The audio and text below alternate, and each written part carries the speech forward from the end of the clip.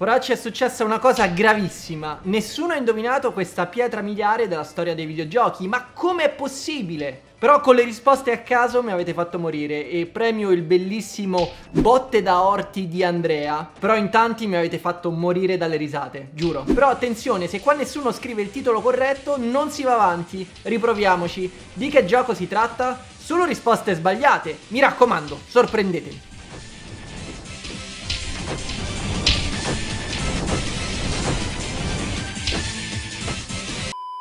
Poracci, bentornati o benvenuti su TG Poro, l'unico format di YouTube Italia dove si parla di videogiochi molto presto disponibile anche in forma liquida. Quella di oggi sarà una puntata caldissima e ovviamente anche ricchissima. Andremo a vedere tutti gli aggiornamenti completamente a caso proposti da Nintendo e ci sono ben tre novità sensazionali, più o meno, e poi commenteremo anche un nuovo rumor riguardante il potenziale seguito di un gioco di cui in un certo senso abbiamo parlato ieri. Prima di iniziare però vi invito a smetterla di fare aperitivo e a mettervi in marcia verso la conquista non violenta di internet.com e la fondazione del Poroverso. Lasciate un like, iscrivetevi attivando la campanella delle porotifiche e seguitemi su tutti gli altri social. I link li trovate qua sotto in descrizione. Bene, ho detto tutto, sembro anche arrabbiato, senza motivo. Iniziamo!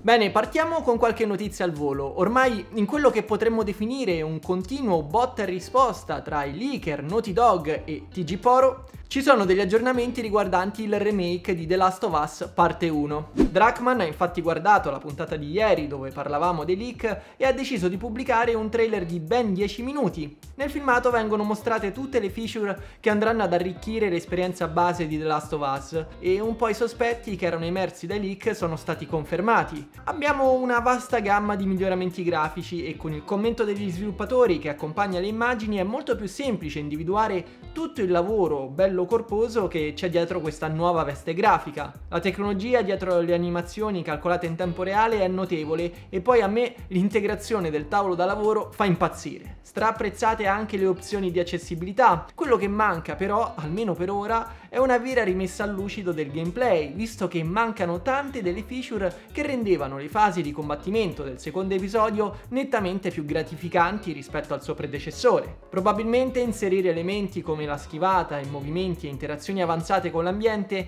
avrebbe significato dover riscrivere da zero tutti gli ambienti di gioco. Ma in fondo non era proprio questo il modo in cui avevano presentato il remake? Insomma, l'utenza ha reagito in maniera abbastanza freddina e c'è chi continua a sostenere che un trattamento del genere avrebbe giovato molto di più al primo Uncharted, un titolo che accusa enormemente il passaggio degli anni, mentre il primo The Last of Us tutto sommato è ancora oggi godibilissimo, non trovate? Un po' come Nintendo, anche Capcom non se ne sta certo con le mani in mano e oggi ha deciso di condividere un trailer relativo alla Gold Edition di Resident Evil 8 che uscirà il prossimo 28 ottobre, lo stesso giorno di Bayonetta. Dannazione. I tre principali contenuti aggiuntivi, che potranno essere acquistati separatamente dalla Gold Edition nel Winter's Expansion, sono la storia aggiuntiva incentrata su Rose, la possibilità di rigiocare la storia in una modalità terza persona, più in linea con gli episodi storici della serie, e anche un aggiornamento della modalità mercenari, su cui si concentra quest'ultimo trailer, un'espansione che permetterà di vestire i panni dei villain di Resident Evil 8, tra cui ovviamente c'è anche Lady Dimitrescu. Vi potete immaginare quanto i fan siano emozionati e impazienti di provare il DLC. Sembra veramente tanta roba. E visto che abbiamo menzionato la strega di Umbra, è già partita la caccia, ma alla Collector's Edition di Bayonetta 3. Oggi sono riuscito a segnalarvi nel gruppo Telegram delle offerte poracce la disponibilità sul sito di multiplayer.it, ma su Amazon i pre-order ieri sono durati così poco che sono spariti in un batter d'occhio. Ci saranno sicuramente altri restock, quindi non fatevi prendere dal panico e non date la vinta agli scalper. Tra l'altro, la Collector's non è neanche così impressionante, secondo me si rivolge principalmente ai super fan della serie. Certo, molto meglio della Limited di Bayonetta 1 e 2, però ne ho viste sicuramente di migliori. Voi proverete a prenderla? Bene poracci, passiamo alle notizie del giorno e bisogna chiudere con non uno, non due, ma ben tre annunci random da parte di Nintendo, che ormai è ufficialmente entrata in modalità sopravvivenza per tutta l'estate e conta di tirare avanti fino a settembre a forza di micro reveal e annunci a sorpresa. Il primo dei tre annuncioni, se così possiamo dire, già lo conoscevamo e da oggi è disponibile al download il primo DLC completamente gratuito di Mario Strikers Battle League Football. Più che un DLC sembra più una lettera di scuse da parte di Nintendo che cerca di riparare a un lancio abbastanza scarno, aggiungendo uno dei personaggi più richiesti a gran voce da tutta quanta la fanbase. Con Daisy arriva anche tipo timido, un nuovo stadio e un nuovo set di equipaggiamento. Speriamo solo che i prossimi update siano ancora più consistenti e magari introducano qualche modalità aggiuntiva. E rimanendo nell'ambito degli sportivi carenti di contenuti al lancio, dobbiamo parlare di Sua Maestà Nintendo Switch Sports. Se il roster risicato di Battle League e le poche modalità online vi hanno messo tristezza, beh, Switch Sports è ancora peggio, se possibile. Quindi mentre aspettiamo che venga aggiunto il golf come nuovo sport, nel mentre Nintendo ha annunciato proprio oggi che a partire dal 27 di questo mese ci sarà il prossimo aggiornamento gratuito di Nintendo Switch Sports che introdurrà il supporto alla fascia da gamba per le partite di calcio e non solo per la modalità rigori, nuove mosse nella pallavolo e altro ancora. Cioè, mi immagino qualche altro costume Fury.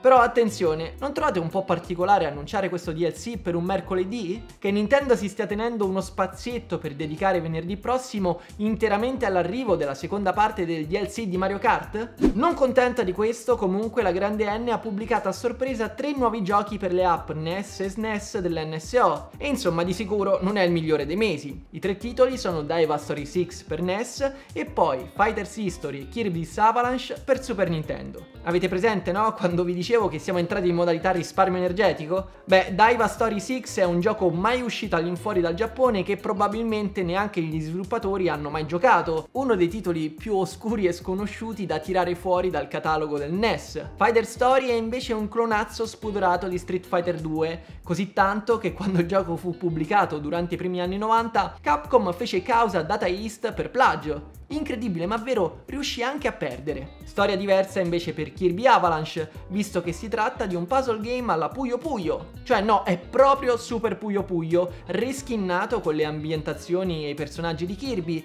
nella speranza che il titolo potesse diventare appetibile per il pubblico occidentale. E per quanto sia una parte importante della storia del personaggio Nintendo, dire che ultimamente Nintendo si è un po' lasciata prendere la mano con i puzzle game è riduttivo. Interessante invece che in Giappone sia stato pubblicato Kirby Star Stacker al posto di Avalanche. Questo è un remake esclusivo per il Giappone di un titolo uscito originariamente per Game Boy in tutto il mondo e si tratta del primo puzzle game di Kirby a non essere basato su puzzle game già esistenti. E così facendo, tra l'altro, tutti i titoli NES, SNES e Nintendo 64 con protagonista Kirby sono disponibili sull'NSO. E ora, dopo questa affermazione, aspetto gli ultra fan di Kirby pronti a smentirmi nei commenti. Comunque poracci, che siate d'accordo o meno con le scelte di Nintendo, qui si continua senza sosta a concatenare annunci settimana dopo settimana, solo che tra alti, molto alti, come l'altissimo Bayonetta 3, ci sono giornate come questa che vanno avanti a suon di fasce per le gambe e il retro gaming di nicchia. Quindi siamo veramente sicuri che questi continui rilanci siano effettivamente meglio di un Nintendo Direct vecchio stile? Ebbene, chiudiamo questa puntata un po' particolare con un rumor che è una vera bomba. Jeff Grubb ha iniziato a parlare di un seguito di un titolo di cui ieri me ne sono completamente dimenticato. Ora vi spiego. In modo leggermente provocatorio, ieri vi ho chiesto se effettivamente Ubisoft avesse fatto qualcosa di buono negli ultimi 5-10 anni, in un momento in cui a me non veniva in mente proprio niente se non Breakpoint, una serie infinita di Assassin's Creed e Far Cry tutti uguali tra di loro, progetti potenzialmente interessanti ma nati morti come Hyperscape e Riders Republic e ovviamente le grandi sparizioni di progetti ambiziosi come Beyond Good and Evil 2. Ovviamente le cose degne di nota ci sono state e tra queste mi sono dimenticato di citare uno dei titoli che più mi ha colpito in positivo degli ultimi anni, ovvero Immortals Phoenix Rising e giustamente me lo avete fatto notare nei commenti. A questo punto, per fortuna, il buon Jeff Grubb, piuttosto che lasciare un commento negativo con tanto di non mi piace, ha fatto sapere al suo pubblico che a quanto pare Ubisoft starebbe lavorando a un nuovo gioco di Immortals Phoenix Phoenix Rising. Dico nuovo gioco e non seguito perché si tratterebbe in realtà di uno spin-off che abbandonerà l'ambientazione della mitologia greca in favore di quella hawaiana polinesiana. Con il nome in codice di Oxygen, il progetto punterebbe a ripercorrere i passi del primo Immortals, emancipandosi però dalla palese ispirazione del primo capitolo a Breath of the Wild, principalmente adottando uno stile grafico completamente diverso. Purtroppo il titolo, in lavorazione sempre presso gli studi di Ubisoft Quebec, sarebbe ancora nelle fasi di pre-produzione e ad ora ne esisterebbero solo alcune concept art e l'uscita, indicativamente, è prevista per un lontanissimo 2025. Poracci dai, sono curioso di sapere la vostra. Vi piacerebbe vedere un nuovo Immortals, questa volta però lontano sia dal primo capitolo che da Breath of the Wild? Soprattutto, avete apprezzato Immortals Phoenix Rising? E questo poracci era tutto per oggi, ma anche per il weekend. Io vi aspetto qua sotto nei commenti per continuare a discutere insieme delle notizie del giorno e non mi resta che darvi appuntamento a lunedì con un nuovo video. Voi, mi raccomando, questo weekend sapete cosa fare. Riposatevi, fate i bravi, ma soprattutto nerdate duro. Io sono il Por Random, Michele Rising, ciao! Ehi ehi ehi, fermo! Se questo tipo di video ti piace, prendi in considerazione l'idea di supportarmi sul Poreon, il Patreon dei poracci. Con un piccolo contributo mensile mi puoi aiutare enormemente a portare avanti i contenuti qua sul canale e in cambio ricevi anche delle ricompense di tutto rispetto come retroscena, anteprime e anche live esclusive dove andremo a caccia di retro game. Ti lascio il link in descrizione e ricordati che Poracci si diventa.